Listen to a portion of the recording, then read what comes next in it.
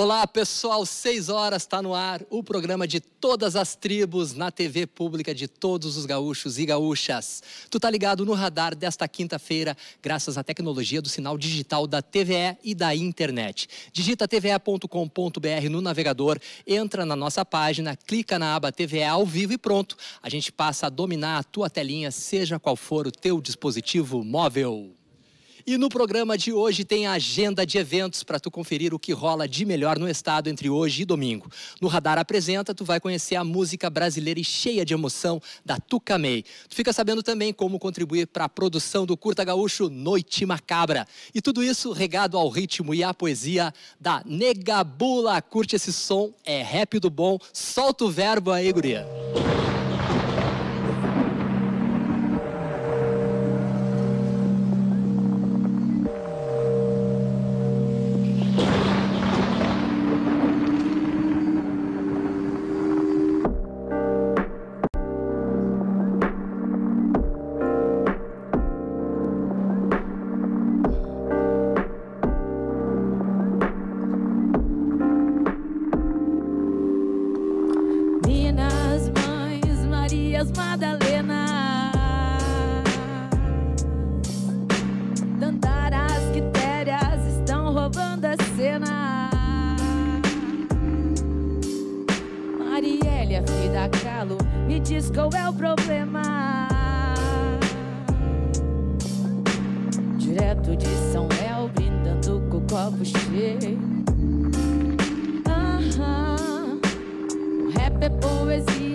Eu chego e represento. Sistema que é machista nesse mundo cruel. Aqui é nega bula, mostrando seu papel. Mostrar que a mulher não é sexista frágil. Que o rap feminino tá buscando seu espaço. Na sagacidade, não seja um covarde. Meu corpo no objeto, me respeite, eu já vai tarde. de calça larga e com classe. Não vai tremer na base. Vozes femininas retratando a realidade. Só minas de verdade, buscando a união.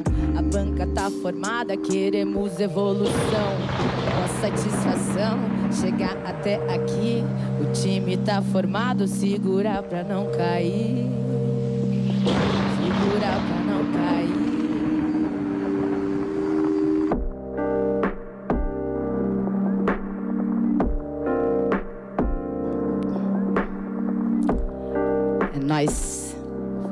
Vamos.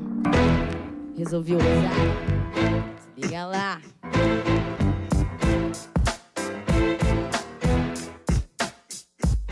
E todo mundo que gosta de rap e diga uou. E todo mundo que gosta de rap e diga ué. Todo mundo que gosta de rap e diga uou. E todo mundo que gosta de rap e diga ué. Resolvi ousar, resolvi mostrar que o rap feminino chegou para somar.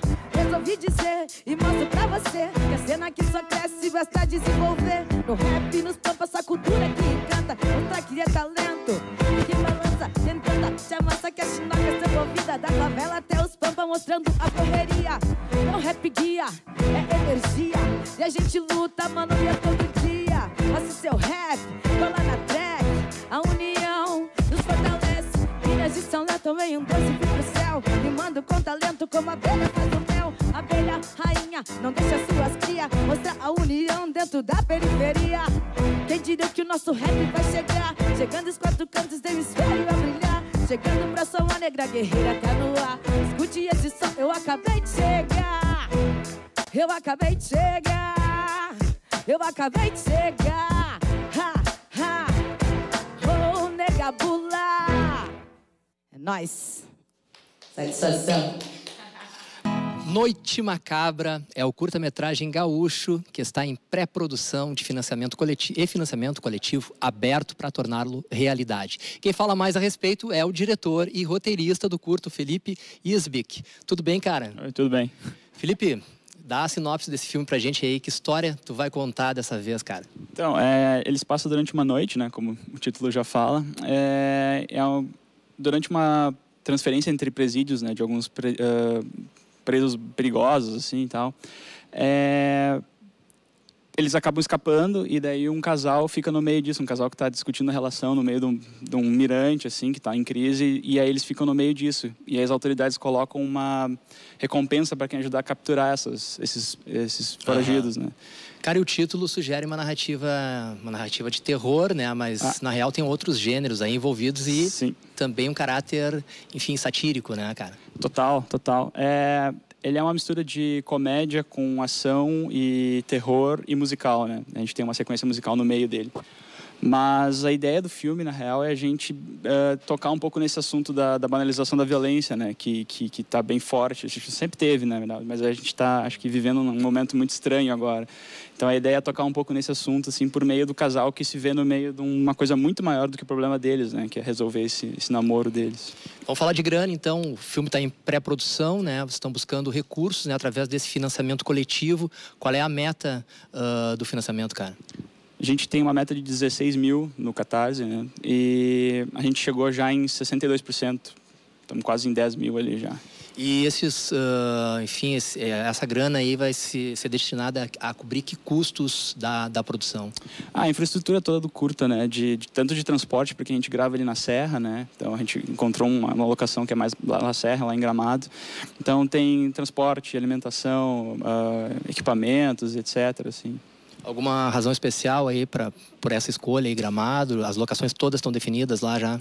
Basicamente tudo lá. É, a ideia era que a gente conseguisse um, um, condomínio fechado que parecesse uma cidade, um tipo um subúrbio americano, porque a ideia é brincar um pouco, bastante com o gênero né, americano e trazer essa referência dos anos 70, 80. Tem aquela coisa meio Halloween, assim, sabe, do, do John Carpenter. Então, para ter essa cara mais perfeitinha, assim, e um monte de loucura acontecendo. Assim. E aí também vocês vão precisar de efeitos especiais, né? Parte dessa verba é destinada a isso, né? Dá para tu adiantar que cenas aí, cara, vocês vão utilizar? Cara, uh, não sei, assim... a gente tem bastante, é, bastante coisa bem violenta mesmo, né? Por se tratar de um filme de terror. Ah. Então, a gente, ah, a gente tem gente é, perdendo pedaço, gente levando tiro e tal. Uh, enfim, a minha ideia é que a gente trabalhe bastante com, com efeito prático, né? Que é uma coisa que eu gosto uhum. bastante de trabalhar com efeito prático, de ter o tiro na hora, de ter o, a maquiagem feita na hora, né? De deixar sim, o mínimo para pro, claro. pro, pro, computação, né? Gráfica depois. Então, é uma coisa que eu tento fazer sempre e até agora a gente tá, tá rolando, assim. E tu vai fazer algumas citações aí, né, a outros filmes, né, do gênero de horror. Tá previsto isso aí? Sim. Algum diálogo? A, a gente tem mais as situações, assim, mais uma cara que a gente busca, assim, de que é referência bastante do, do John Carpenter mesmo, do Halloween, mesmo. né? Ah. Que, que tem todo um clima ali que a gente está buscando, assim, embora a gente, uh, no início, né? Porque depois a gente vai para outro lado, assim, a gente, é, ele vira uma coisa muito mais frenética, assim, né? Tipo, outro ritmo. Cara, na, enfim, na, na, nas tuas produções, né, tu recebeste importantes premiações, né, importantes mesmo, e entre elas aí filme, né, roteiro, montagem, enfim, chama atenção repetidas premiações para ator, né? Melhor ator, melhor ator coadjuvante. Gostaria de saber se tu tem essa, esse cuidado, né, com o teu elenco, se tu tem algum método que tu desenvolve, né, com os teus atores, como é que funciona cada produção, é um método diferente, né? Qual o papel do ator no, na tua produção audiovisual? Ah, basicamente o que eu faço é que a maior, maior parte dos trabalhos que eu fiz até hoje eu escrevi, né? Teve um só que eu não que eu não escrevi.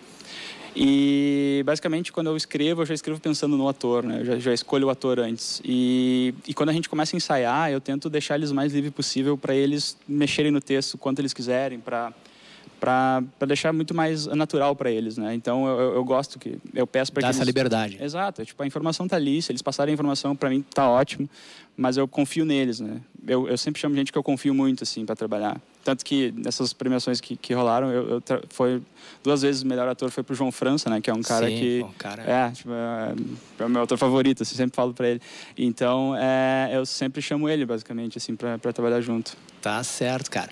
Então, até quando o pessoal pode contribuir aí? Até dia 11, de, até dia 1 de, do 11 de novembro. 1 de novembro. 1 de novembro. Isso. Tá legal. Obrigado por participar aqui do Radar. Sucesso Valeu. aí. Obrigado. E mais essa, pro, eh, essa produção aí, né? Que tá venham outros prêmios aí, cara. Valeu. Colabora então pro Noite Macabra. A gente vai para um rápido intervalo e já retorna com agenda, entrevista e mais música aqui no Radar. Continuem ligados na TVE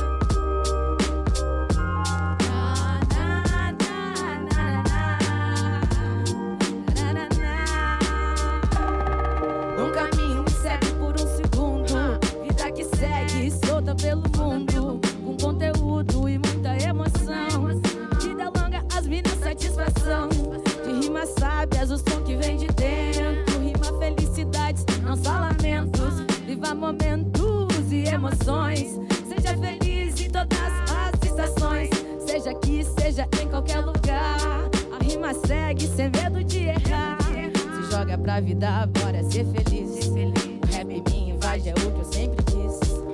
Sigo na caminhada, só que as palavras recitando poesias. Sigo na estrada, não sou obrigada a nada. Subindo a escada do crescimento e progresso. É isso que eu mais quero,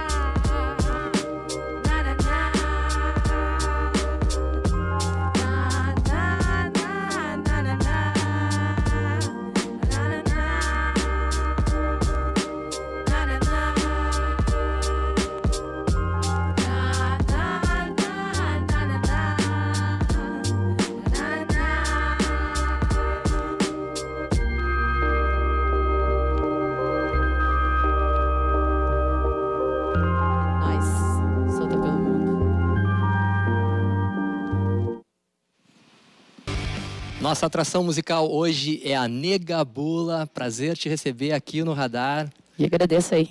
É Apresenta o nice. teu DJ pra gente. Ei, ei, ei. Não, é assim mesmo. É assim Tá mesmo? saindo. Ah, pode crer. Ah, prazer, Negabula, direto de São Leopoldo. Meu beatmaker aí, Chocolate. Então tu, tu começou a tua carreira, né, integrando o primeiro grupo feminino de rap lá em São Léo, né, o Três Negras na Batalha. Fala pra gente aí sobre, né, essa esse essa tua carreira, esse início de carreira, tua formação musical e sobre essa batalha, né, de ser mulher negra, né, no Vale dos Sinos, no Rio Grande do Sul. Isso aí, a gente começou com três vozes femininas, que são, ah, somos irmãs, né? Ah, começamos lá em São Léo a cantar rap. Ah, a gente tinha uma dificuldade, né, dos caras deixarem a gente fazer o som, darem o espaço. A gente pensou, não, vamos fazer um rap, vamos botar nossa letra, falar sobre empoderamento, questão do combate à violência contra a mulher. E a gente é da periferia, a gente via muito isso no nosso bairro, né? Então, por isso que a gente começou a cantar rap e mostrar um pouco do, do trabalho, assim, do rap feminino. Aí, E hoje né? tem, hoje tem mais, tem mais gurias assim que nem tu, né? Fazendo a frente, né? Ah, movimentando essa cena do, do rap.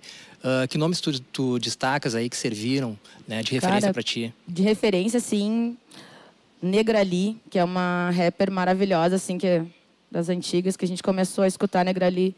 Tem também a Camila CDD, ah, que é a parceira ali do MV Bill. Tem a Negra Jaque de Porto também, que foram as referências daqui, né? Da gente seguir, da gente escutar e se guiar nessas minas aí. E hoje eu canto assim porque elas estão ali, elas fizeram o espaço delas e eu estou fazendo o meu também, né? Mostrar um pouco do empoderamento. Acho que isso é bem importante. A gente não pode ah, ficar só atrás do- dos holofortes, não só fazer um, um vocal, por exemplo, um back vocal. A gente Claro. quer cantar, a gente quer mostrar o trabalho, né? Mostrar o rap aí. E como é que tu faz tuas rimas aí? O que que tu, sobre o que que tu fala normalmente, né? Na- nas tuas letras? Cara, eu sempre falo bastante sobre empoderamento feminino. Acho que esse é o principal tema assim que eu boto nas minhas letras. Questão da musicalidade, a gente falar sobre as mulheres nos espaços de poder, a gente ter os espaços, tomar esses espaços, né? Que às vezes é tão difícil. E às vezes eles pensam, ah, ela tá ah, teve uma questão ah, que eu fui fazer um som e o cara disse, ah, tu vai dançar? Eu Disse, cara, só porque a gente é mulher, né? dançar Aham. vai dançar, entendeu? A gente tem muita arte, tá ligado? A gente pode ser DJ, a gente pode ser Biguel, né? Que é a dança. Claro. A gente pode ser MC, a gente pode ser grafiteira, a arte. Então, a gente pode tudo, né? Mostrar um pouco disso. Essa é a ideia da Negabula. A gente sempre bota um pouco disso. Um pouco de poesia também. Gosto muito, assim, de poesia, adoro. Então, essa é um pouco das coisas que eu coloco na minha letra, assim, que eu escrevo. Bula, e o ano passado tu, tu lançaste aí o clipe, né? O Furacão. Furacão. Eh, por que a escolha né, desse single aí? Conta pra gente, né? Sobre o que, que ele fala. Como é que foi esse processo, né? De, de enfim, o processo de, de gravação mesmo do clipe. ah. Ah, esse clipe foi lançado através do Lado Sujo da Frequência, que é um cara lá de São Paulo, que gostou bastante do meu trabalho, daí ele veio gravar aí, a gente fez um trabalho maravilhoso. E nesse clipe tá minhas amigas também, isso é massa, porque tem toda uma questão do empoderamento, as meninas estão junto para somar, são todas minhas amigas que participaram do clipe. Foi lá em casa também, foi algo massa, assim, bem muito amor, muita musicalidade, tá ligado? E o Furacão é isso, é o empoderamento, as mulheres ah, estarem ali, estarem bonitas, se vestirem do jeito que elas querem, falarem do jeito que elas querem, dar o rolê que elas querem. Isso que é o Furacão, né? É o empoderamento. Tu, tu cantaste Solta pelo Mundo, né? Tem um EP aí que está em fase de produção, né? Queria que tu falasse um pouquinho sobre o repertório, o que, que vem por aí, previsão de lançamento desse EP. Isso aí, a gente está produzindo o EP. Ah, a gente acredita que até o início do ano de 2020 vai estar aí na rua. A gente quer produzir legal, a gente também não quer produzir correndo. A gente quer um trabalho massa. Jeito da Negabula, o toque da Negabula, eu acho que isso é bem importante. Vai ter umas participações aí, tem uma mana lá do Rio de Janeiro, que é a Taz Moreb. Vai estar junto nesse EP aí. Tem mais uns brothers que são meus amigos também, vai- vão estar junto. Acho que vai ter umas três participações aí. A gente está em fase aí de finalizar. Finalização. É. E para quem curtiu o teu som aí, que nem a gente aqui no estúdio, quer conferir teu show, dá agenda para nós aí. Claro, claro. Vai ter agenda aí nesse final de semana, dia 19, no Jam Club, aqui na Cidade Baixa. Vai ter Negabula, vai ter Chocolate, vai ter Dona Maria MC, vai ter o DJ Chernobyl, que é o DJ da comunidade Ninjitsu, tá ligado? Ele vai estar junto. E o show do Hot Orei, que eles estão lançando um álbum, que é o Rap de Massagem. Então, vou estar lá fazendo esse trampo, dia 19. A partir das 9, abre a casa lá, dá pra galera colar. E dia 20, em Florianópolis também, o mesmo show do Hot Oreia vai ter Negabula lá em Floripa, mandando um som também, 19 e 20.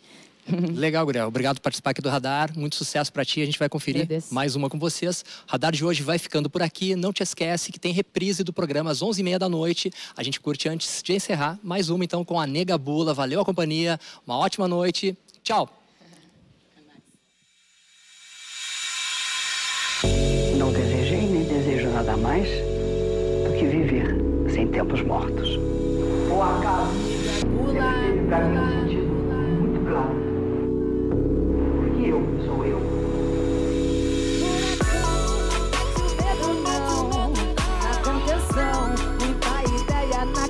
então nessa missão de se levar a sério.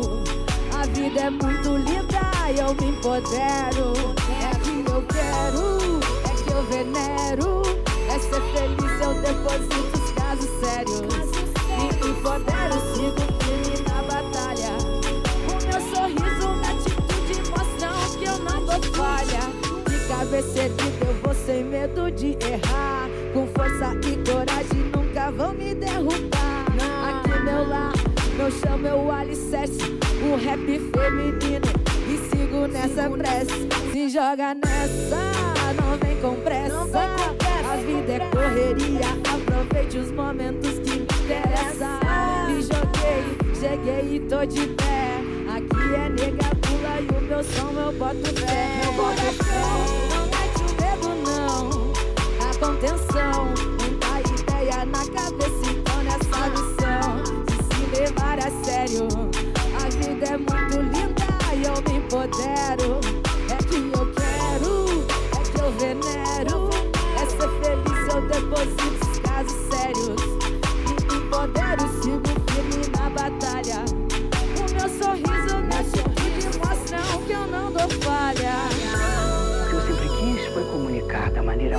direta o sabor da minha vida. Acho que eu consegui fazê-lo. Vivi num mundo de homens, guardando em mim o melhor da minha feminilidade. É nóis, satisfação, nega bula. O acaso um sentido muito claro. Porque eu sou eu.